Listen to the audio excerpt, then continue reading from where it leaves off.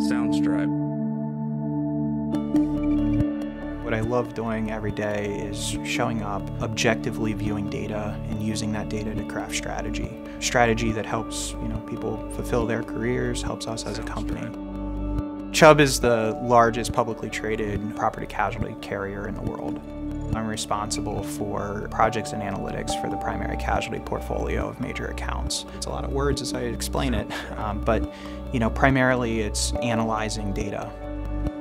I first heard of Lebanon Valley through alumni, and then, you know, from there, visited the college, and I knew instantly the second I touched foot on campus that it was the right school. It felt like home. What I love about the Lebanon Valley college education is that it doesn't just teach you to be an expert of one thing. You're able to realize that, you know, what your degree says is different than what you can achieve.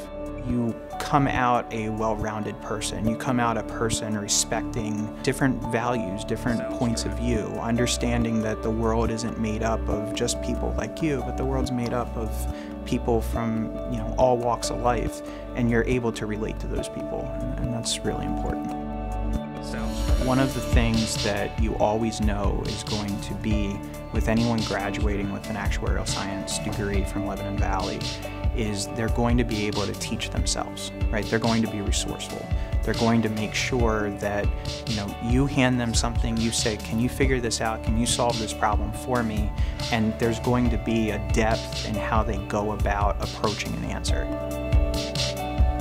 To be recognized by Lebanon Valley is a true humbling experience.